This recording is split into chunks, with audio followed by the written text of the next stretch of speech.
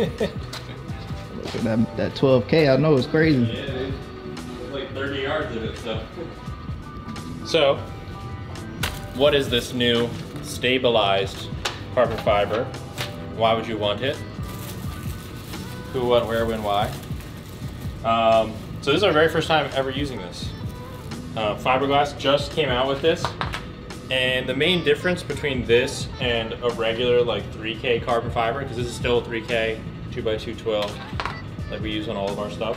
So the difference is, other than it's got this nice little cling wrap stuff, you get really close, you can see little tiny fibers running between everything, which should not show up in the part.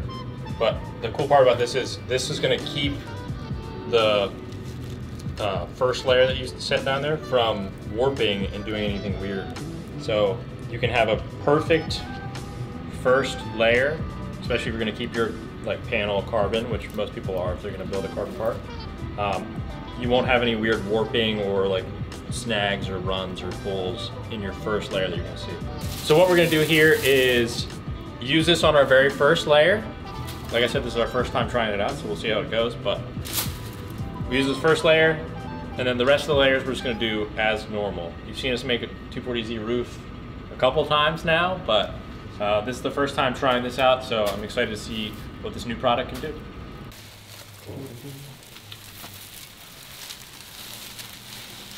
So one thing I do not know about this carbon is if we can pull strands out of it. To be safe, I'm just gonna cut straight through without doing the regular pull method.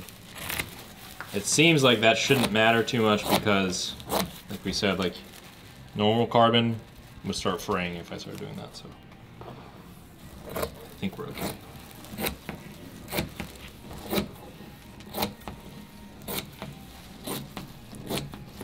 Oh, I'm using this.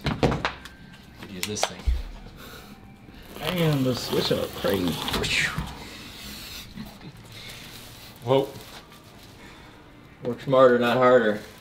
Yeah, definitely way to go.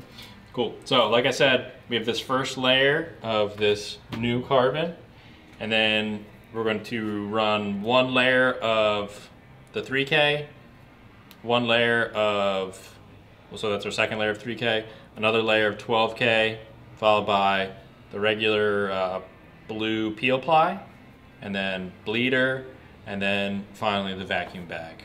Just gonna mix up resin, and we already pre-cut everything, so we're ready to go. Definitely work smarter. So uh, let me get some gloves. Like usual, using System 2000 with the 60 minute cure hardener. Um, so you have a 60 minute pot life, 2060. This is what I prefer. There's also 120 minute and 25 minute, I think. Mhm. Um, but I find this one to be the best. It doesn't usually take me more than an hour to lay up most of our molds.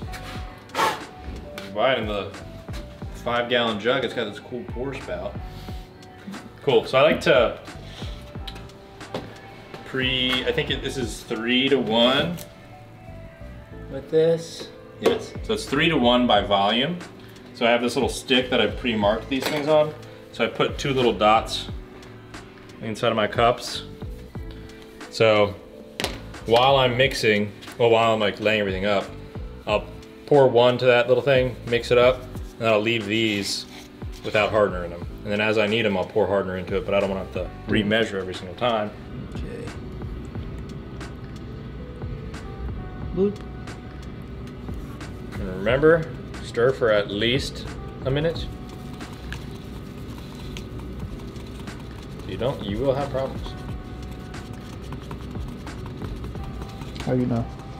Because I've had problems. Gotta stay consistent. Oh, and I also want to mention when we when we lay this first layer of carbon up, we're gonna lay it with the veil side up. So the side that actually faces out on the mold will be the other side. You shouldn't see this once it's already wet out, but just in case, put the veil side up so it's not facing everything else. So yeah, so I'm gonna wet this out first. Uh, we already have all of the, you know, the PVA and the wax and stuff like that down, and then we've sprayed clear gel coat in here. I did that yesterday though. I like letting the gel coat sit for longer. You can technically, you know, an hour after spraying it, get right into making your part, but it's extra sticky. It takes a, a long time for it to feel like fully cure. So I like letting it sit a little longer because then it won't grab your carbon. But also with this new carbon, it shouldn't really matter as much because even if it grabs it, it's not going to mess up the weave, which is mostly so. Who knows? Just so used to doing it that one way to avoid having problems. Now that I have a, you know, carbon that should just mitigate those problems anyways. Should be even a more fail-proof method. Exactly.